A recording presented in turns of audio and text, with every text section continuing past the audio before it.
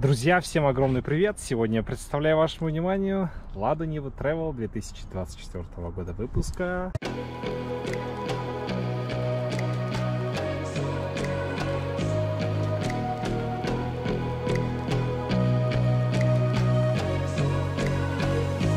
С неизменными ключами, как понимаете, ничего не меняется в данном случае, но от этого она не становится какой-то нежеланной определенно.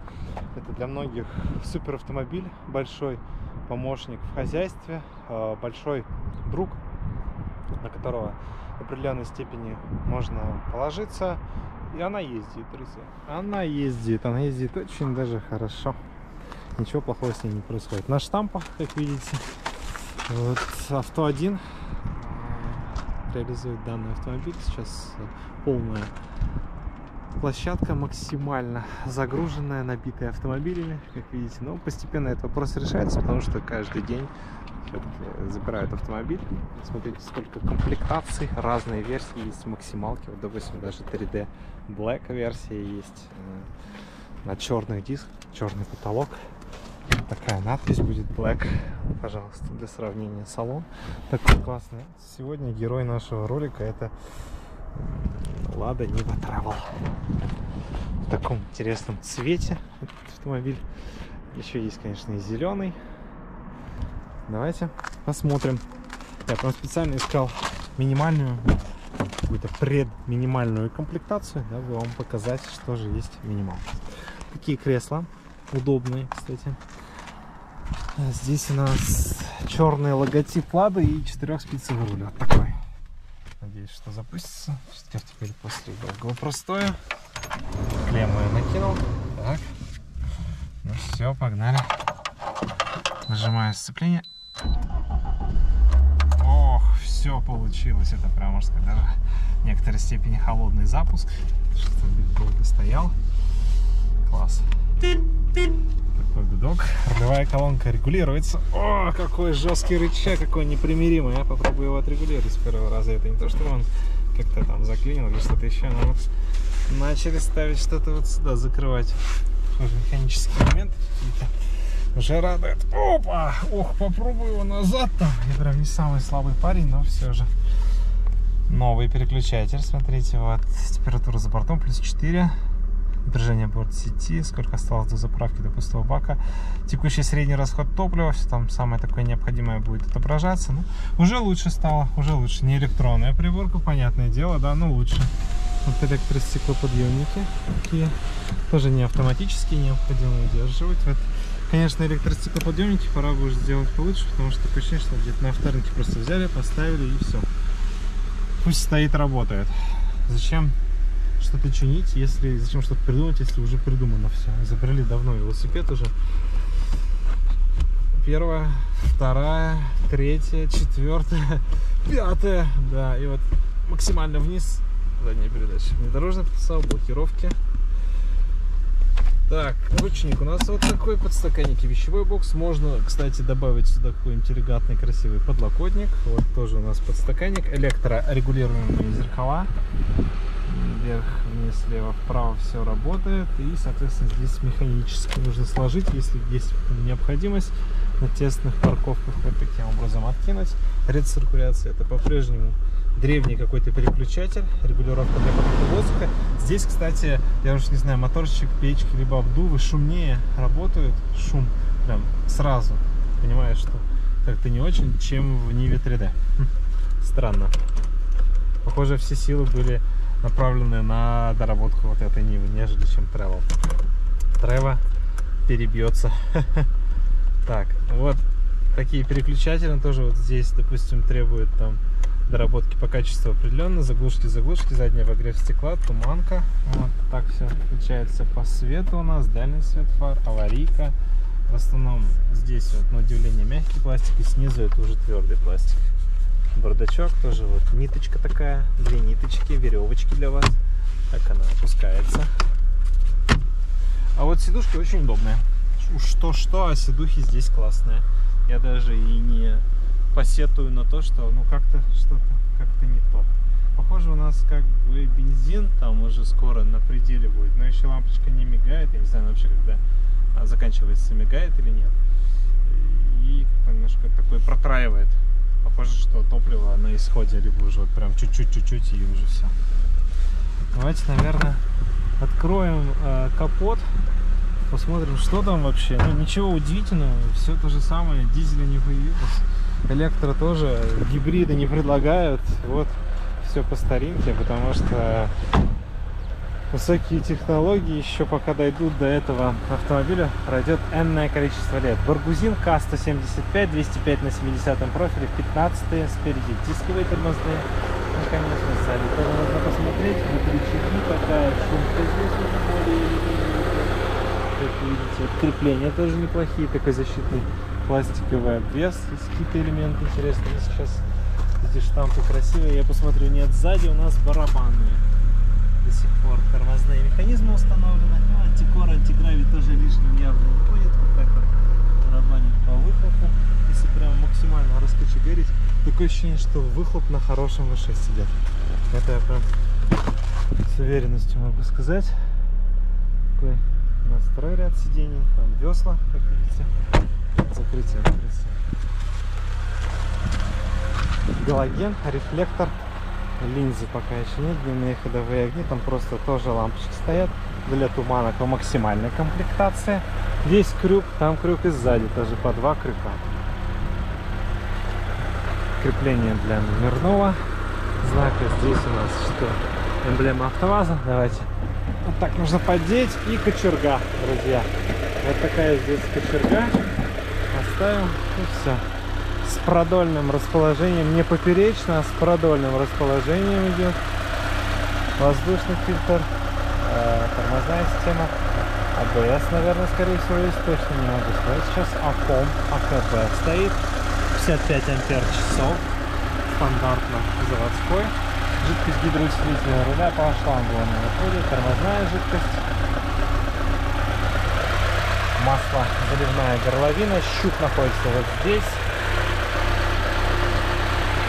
Отказать может, конечно, что угодно, там на заводской брак, если что-то. Но в целом довольно хорошая техника, то есть на бездорожье еще она послужит прилично в умелых руках. Здесь такая спортивная тема, круглый расширительный бачок, антифриз, стеклоомывающая жидкость, даже какой-то ремень, чтобы это все не гуляло. Но места достаточно, чтобы поставить такой по лицензии хороший V6, наверное, да, определенный. От Mitsubishi, от Toyota, там, от какой-нибудь даже Mahindra, как вариант. Почему бы и нет, да? Но все же можно даже по лицензии какой-нибудь ОМ двигатель дизельный, а, именно атмосферный дизель без турбинки от Mercedes-Benz на которых накатывают на 123 Мерседесе, на 124 по полтора-два миллиона километров. Там уже кузов сгнил полностью в труку, а двигатель с коробкой они прям катают. Катают еще, будут катать долго. Здесь не пожалели явно шумку, на клипсах все интересно идет. Вот такой механизм по закрытию открытия с заводской темой по смазке. Тоже здорово. Вот так он работает.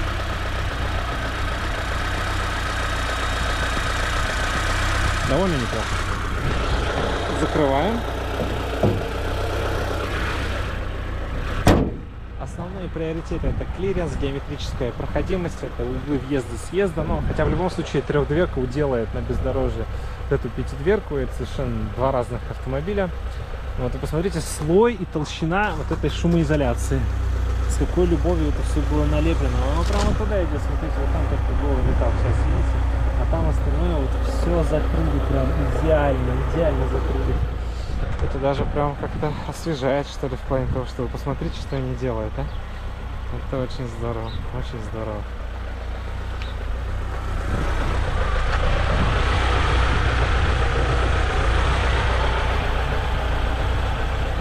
Нижняя часть, все элементы аккуратно прикрыты. Получается вот часть бампера. Здесь даже непонятно, где начинается бампер. Вот здесь идет деление, да, вот понятно, что вот он там на клипсах закреплен. Но как-то все цельно сделали, очень гармонично это все соединяется.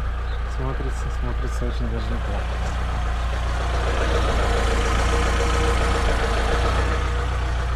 Опа, особо-то и не пройти сюда, как видите. Багажник у этого автомобиля тоже приличный по размерам. Вот смотрите, какие здесь есть комплектация. Если дальше, допустим, пройти тоже в черном цвете, ну, по ощущениям, похоже.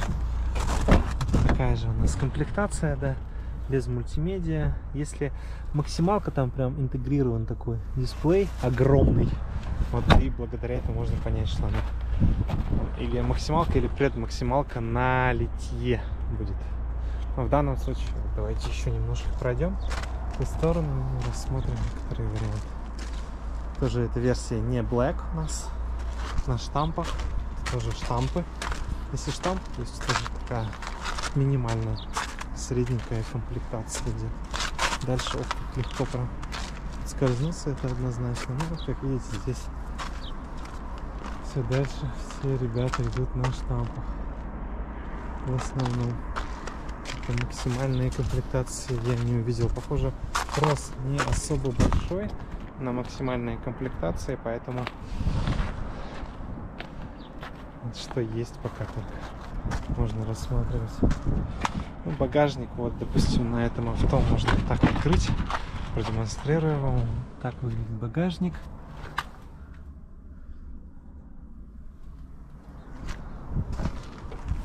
Распашная дверь с красивой надписью Лада. Здесь тоже все крепится очень удобно. На запаску все легко сделать без проблем. Ну и вот еще одна из комплектаций, тоже не самая богатая, которая вообще представлена. Но все же по краскам мне нравится. Конечно, желтая, красная, синяя или фиолетовая Нива не будет, да? Но все же, они такие очень строгие, усредненные цвета, акценты сильно не выдают, потому что солдат в бою должен быть не виден. Вот, смотрите, так она будет выглядеть, когда она будет грязная, эта тачка. Но если бы у меня был выбор, я бы, наверное, все-таки Black вот э, трехдверку бы взял, потому что Black версия трехдверка, она прям манит, дурманит хорошего автолюбителя, который понимает толк в чем-то хотя бы немножко большое количество, как видите, вот здесь грант. Это самая такая востребованная, самая та тачка, которая непосредственно делает максимальный процент по продажам. Для АвтоВАЗа, наверное, все сливки снимаются с гранты, потому что самая доступная. Ну, проще некуда. И потом уже флагман идет, Веста.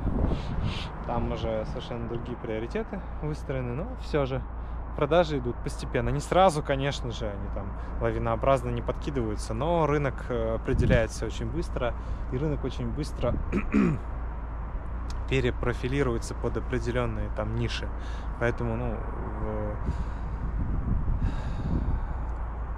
в, условно говоря, в этой структуре гранты попробуйте найти еще конкурента. Именно новый автомобиль китайцы сейчас уже нет, это все дороже 2 миллионов будет седан, если смотреть, и хэтч.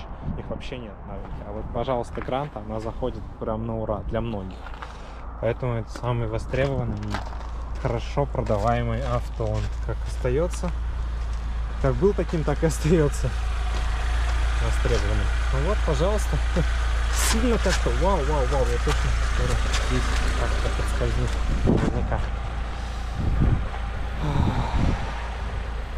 в связи с тем, что лед тает, сейчас такая тенденция будет, они просто врастать будут в лед, видите, она просто туда опускается и опускается. Но потом, когда все растает, все отойдет. Но это не быстрый процесс. Ну что ж, в черном цвете этот автомобиль определенно интересно смотрится. Есть момент, связанный с тем, что ну, вау, эффект, да, даже производит местами. Педальный узел вот так выглядит хорошо, что разнесены педали так э, широко как обычно это близко бывает, регулирование подсветки приборов, регулирование угла наклона фар. Ну что, есть, наверное, сейчас смысл немножко послушать звучание силового агрегата,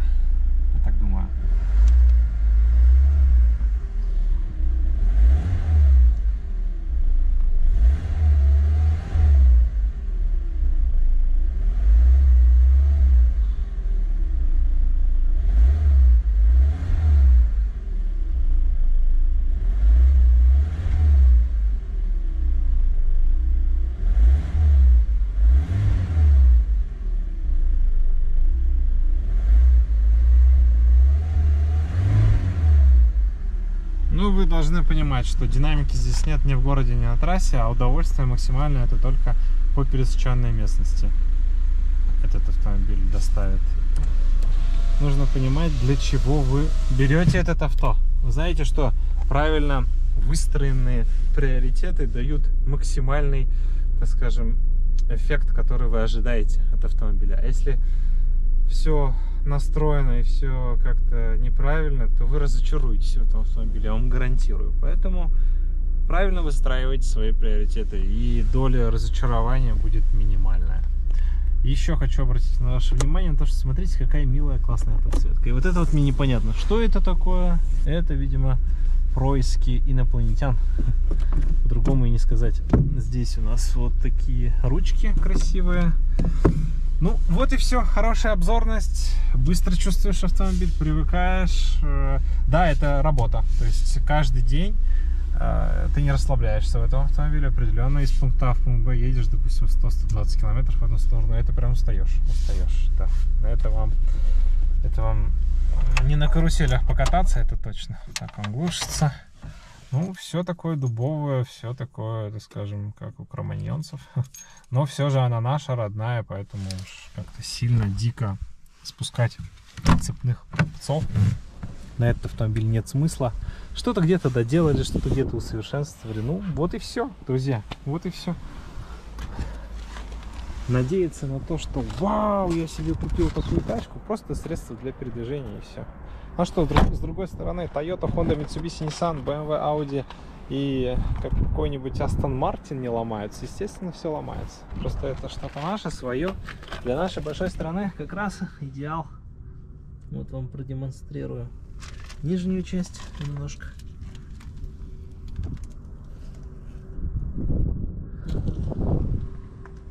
У каждого производителя есть свои проблемы, есть свои заморочки, есть свои нюансы. Поэтому вот эта тачка с нами здесь и сейчас. На этом все. Адьос, друзья. Огромного вам везения.